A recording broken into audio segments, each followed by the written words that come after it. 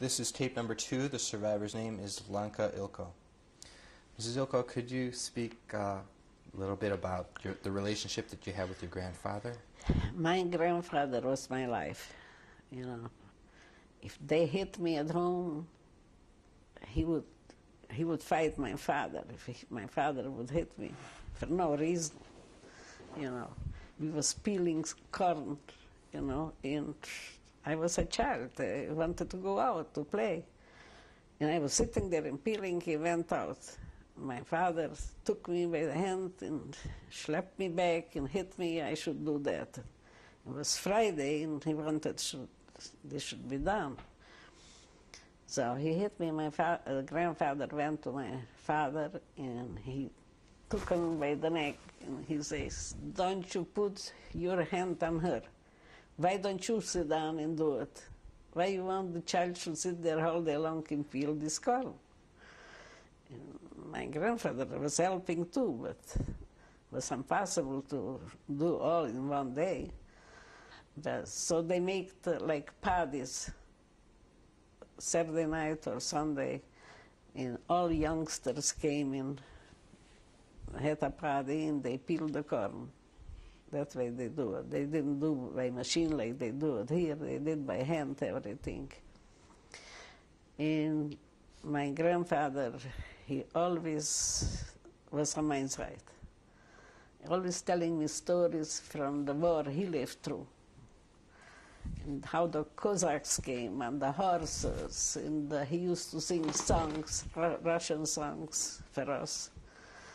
And uh, like when my brother was born, he was singing Kolisa Cesariu Dohuri Znimali, uh, the Cossacks. When they went up, and they shot them, and, and, and they didn't live to see it, but they wanted to see. So he was singing this in Russia for us all the time. And Did he, did he give you hope throughout the, your years in the camps? Well, he just wanted I should go to America. And he didn't want I should stay in Europe. He said, you go to Frumat, a Jewish name, his daughter was Frumat. So he wanted that I should go to her because she's religious and I should go to her and stay with her. But she had uh, two sons and a daughter. And I wanted to go. I had the papers and everything, but my parents didn't want I should go. They wanted me to suffer. At least I would have saved my life. And it was very hard to go away already, but they were thinking a girl to go in uh, to Prague, and so they didn't want to. So just wanted me to get married, which I did. You, you were talking earlier about when you went to Ungvar. Um, who was there with you? Uh, this already after my husband went away, you know. What So- was his name, your first husband? uh, Morris Lebovich. When he went away, I didn't want to stay in, you know, by myself, so I always went to the city, to Ungvar. But they had a movie house, so I went to the movies. So my mother found out, you know, she was very angry because I had a, a wig. When I come to Ungvar, I threw away the wig. That my aunt told me like this: "Your husband went away, and you don't know when he will be back or he will be ever back. Why should you cover your head?" So I grew back the hair, and uh, naturally, my parents didn't like it. So. My mother came once and she told me I should come home and stay with her because my laughters are crying for me Friday night. So I didn't want to come home. So I stayed with my aunt, with that aunt. She was a cousin, but I called her aunt for, uh, in Ungvar. So one day, my mother wanted I should come home for Shabbos. And she says, cover your head when you're coming through the, through the town. And I say, Mother, they will wonder just once, and I'm not doing what I'm not doing anymore. So naturally, the town Jewish people was very religious, so I was a bad person. I did that. But my aunt was right. Why should I wear a sheitel and, uh, and cover always my head when I have no husband? So I agreed with her. So one Shabbos I came home and we went always to visit uh, from the beginning of the town was a Karlstein family and we went there for Shabbos visiting. My mother says, put on a nice uh, babushka. I said, no, mother, they will look at me once and, and then they will get used to it, that's what I'm doing. So I did that. They really talked about me, but I didn't care because if then my mother realized really herself I'm so young and, and uh, to tie down my head all the time. So once I was in Ungvar, before I went home already, they knew when I got home. So I went shopping vegetables, and they had uh, this uh, on the street. And uh, I saw a man from our town. When I saw, I grabbed my babushka and put on my head. And he, he saw it, and he went home and said, I saw Leah, and that's what she was doing. She was talking about me. But uh, my mother quieted down later, realized that stupid kind of, I should do it. So, um, who was it who actually came to your house and, and rounded up your family? Well, the uh, first, I, we had to, in 44, we had to wear the yellow star.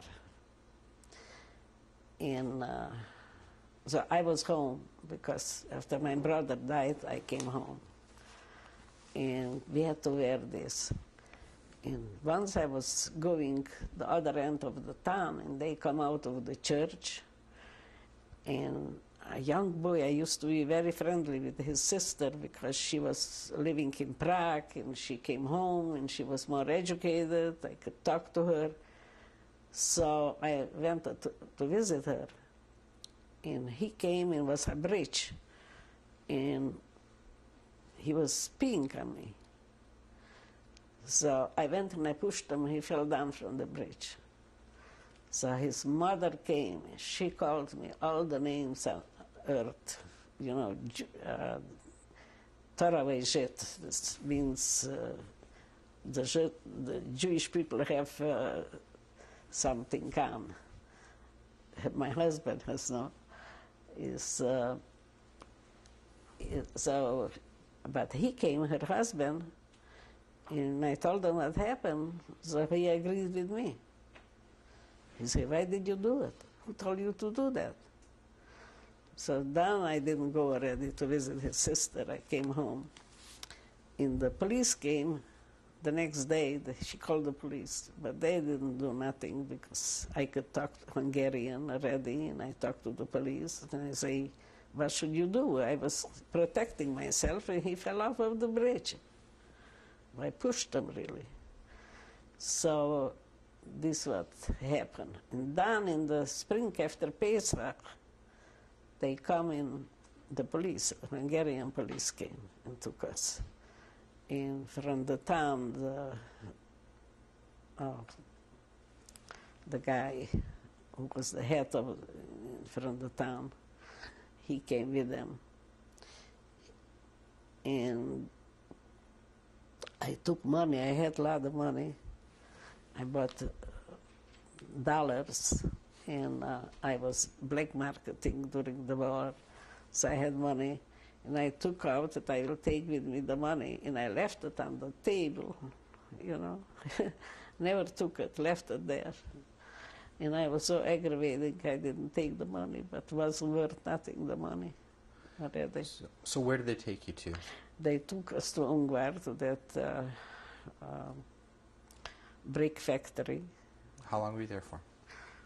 Uh, they took us in April. In June, they took us to Auschwitz already. So, So- what was it like in Ungvar? Well, people was very hungry. They, we, I wasn't because I was uh, uh, helping in the kitchen. I was always a cook, so helping in the kitchen. So, but so I helped my family and a few from my, from my uh, uncles and so like my father's brother. He was had a long beard and payas, and he was so from. So he was uh, shamus in a shul. He uh, taught children. I have here a friend. He says, "Yeah, your uncle hit me so all the time. The the seven daraki am aufgegessen, the fetaki. You understand? They was teaching uh, the seven skinny cows ate up the fat cows. So I was, uh, you know, just learning a lot in, from what they taught the boys. So when my uncle, I used to go there, I listened to him. I learned a lot from him. And he was very nice to me, that uncle. Was there a lot of starvation in Ungvar? Yeah, there was, yeah. But I when they asked people to go out for work, and I volunteered, and they took us to sort cl- clothing.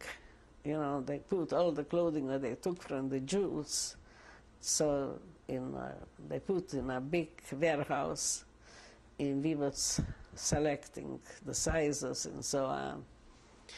And uh, then when they took us back, there was a, like a delicatessen. And I went in and I bought herring and things to bring back. And when we come in the inn, they was taking away from us. So I was staying behind and I threw over the fence. And when they let me in, I went and I took it. You know, so I was giving for all these people who didn't eat. Like I felt sorry for the for the Dayan and for the rabbi and for all these people. So I was giving away. Once I got a case of whiskey, and I was giving giving everybody. Here is Dr. Steiger. I don't know if you heard from him. His brother is dying now in Israel. He married Dayan's daughter. Uh, she's nobody. He come. They have come from a very nice family. His uh, father was a bank director, and they was going to Ungvar to school in down to Munkac. They spoke always Hebrew or uh, English. And so uh, his parents was there, and his mother I liked very much. So I went and I gave him a bottle of whiskey. They said they will never forget. And I'm with Zvi very close. I say, you my brother. We are very close. But um, the, this was, you know, who went out, you could get food. And if there was young girls, they were sitting, they should come peel potatoes, do something. I used to put, to make dough. You're not allowed to take out. So I put in my braziers, and I come and I give those who had lots of children. So I give those people. Maybe God helped me for that to survive, because I did a lot of good deeds. So, I was crazy. I always give away everything I had. And then what happened after Ungvar? Well, then they was taking like those rich people first, and they put them in a separate barrack. And they was taking them to Auschwitz, but with the families, they was taking them. So they was taking my uh, cousin, which I was so close, And I went there and asked them if they should take us to wherever they go. so they took, took us together. And as we, for days, we was going on that train, no end to it, and no food, just what we had, some. And how many times I, I go to eat, I remember, and my little brother was saying, Laicho, I'm hungry, I'm hungry. So I said, no, we have to save, we don't know how long we be here on that train. And we saved and we come finally to Auschwitz. Before before you discuss Auschwitz, what, what did people do about uh, have, if they had to go to the bathroom? Oh, this was horrible. They took pots and pans, and you went, they make something to cover up, and they went in the bathroom. And uh, one boy, he made a hole in the In the cattle car? in the cattle car, yeah. So he had a knife and he made, he was drilling so much that he went out himself, ran away. This is that, he lives in Tel Aviv. You kept in contact with him? Yeah, yeah. And Did anyone else try to escape through that hole? no, because the train was going so fast, but he risked his life and he went out. Nobody knew. Look, we didn't have to. God was not on our side because that winter, winter in the spring in Europe, you plow the, the fields and you work in April. In that April was so much snow we couldn't get out of the houses. So, like now, in April, when I come home from Palm Spring, the 20th is my birthday, and I couldn't believe it, so much snow we got. So that's why people didn't run away, because I was thinking we stick together. Wherever my parents go, I go with them. They said, we're going to work, so I'm young, I will work.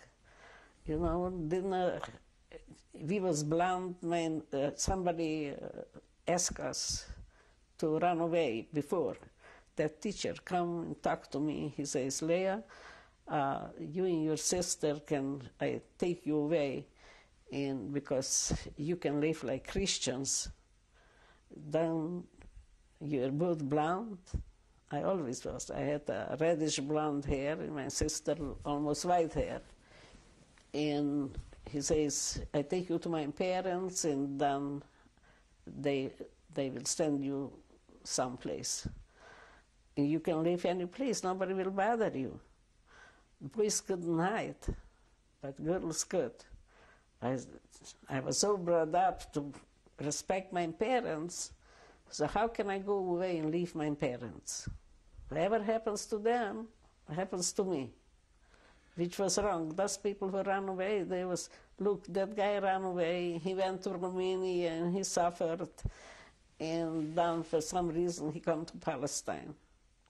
So long he come to Palestine. So is Zvi Steiger, he too went to Romania and uh, down to, to Israel too. Could you talk about what your experience was when the cattle cars stopped arriving in Auschwitz? Well, this was a disaster. The uh, Jewish boy comes up and he says, he didn't want to talk. He was scared. He, he said, where are we? He says, in Auschwitz. Never heard of Auschwitz. So he says, leave everything and we put nicely together and we will come back. And then again, I feel sorry I didn't give my brother, he should eat at least. So many times I make a bite in bread and I think, oh, I, called him Shamku. Shamku was hungry and I didn't give him to eat. So anyway, we put everything together and go out and he says, if, give the children for the old people and you go to the right. Don't go to the left. But he didn't say why don't go to the left. But my brother and my father went to the left right away. They killed them the same day because when we come to Auschwitz and they selected us to the right. And they took us to the bed and again I put together nice my sweater. My brother bought me that sweater, so I put it nicely together that I will get it back. But they shaved our heads.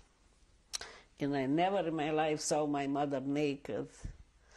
And everybody was ashamed to be naked.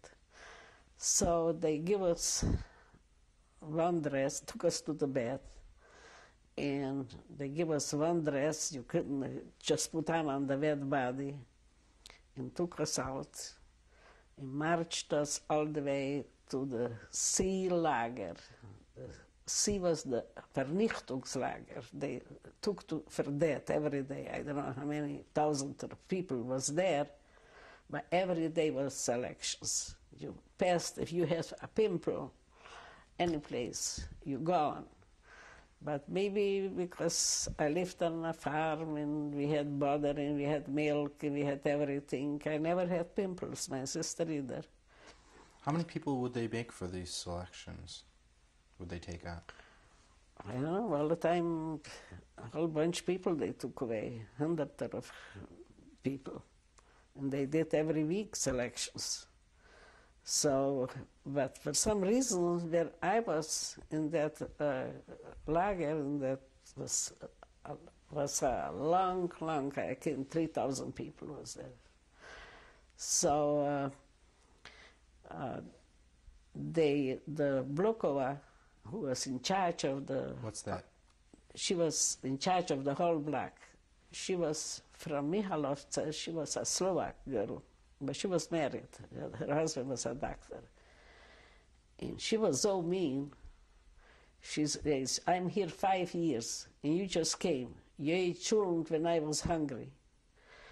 So she was very mean. She was Jewish? Jewish, yeah. After the war, we wanted to kill her. But she, the SS woman protected her. I don't know, she was always, she had a room for herself and that SS woman was always going to her. So, What kind of things would she do? How was she so mean? well, she wanted we should go to sleep, you know. But we was there in, when they brought us to the C lager, in was one, two, three, you know, those, uh, they put everybody, bunks, the bunks, next to each other, tight. So we was in the middle. And, uh, well, if one turned, all had to turn. We was uh, 14 there, 15 on top. So uh, she used to go with them hit people for no reason. She, she was then she asked me if, if I want to take care of my bunk, to give food. So I did it. But all people from uh, the city where my father was born and my uncle lived, they was running to me, liar, give me a little, give me a little. Said, here a little, here a little. I didn't have enough for myself. For, so I went to her and she hit me horrible. And she says, next time you won't get it. Now I give you more, but you won't get it. You can't do that. They should wait till they get it. I thought I'd die. I couldn't stand people crying, elderly people. So What did she hit you with? she hit a stick, you know. Uh, and uh, I give up my position. I say, I don't want it. Because I never got to eat for myself and for my mother. I should give them first. But my mother was six months with us together. And after the after the six months, they took her away. It was big selections, and uh, they took her then away together. But we was, uh, they took us in Auschwitz there. We was chopping stones. You know, I lived on a farm, so I knew a lot of things how to do. but this was flying in our faces, these stones. So when the selections came, we hid in the was a long room with toilets, you know.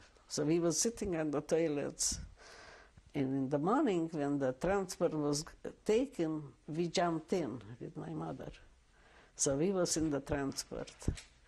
So we come, they give us a bed and they give us clean clothing, and uh, they didn't give us underwear. We was freezing to death, just a dress and we was and my mother was crying they took her away and she begged the was a polish woman a jewish woman and she asked gnädige frau lassen sie mich zu meinen Kindern.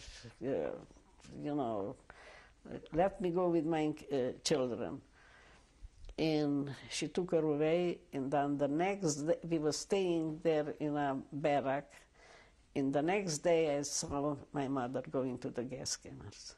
I already knew where it is and how it looks. So this was the hardest thing on me to see my mother go. You know, she would have survived because she was a hardworking woman. She would have survived, but this was hard to see when I was, they took us down away from Auschwitz and I was crying, and my sister says, why are you crying? I say, what's the matter with you? We're leaving here, everybody, and we don't know where we're going. And everybody's here, life or death, but they are here.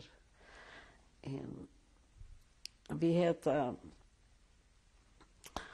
a cousin which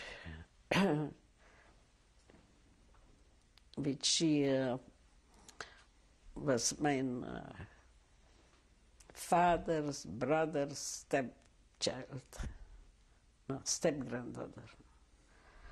So she was with us. She was screaming, "Mommy!" And she they had lots of children, and she named all the boys, and she was the only girl. So I think there were seven children and she was screaming horribly. My sister, she, she just took everything for granted. I know she was hard, kind of, didn't care what they do, just. And they brought us to Breslau there, to the camp.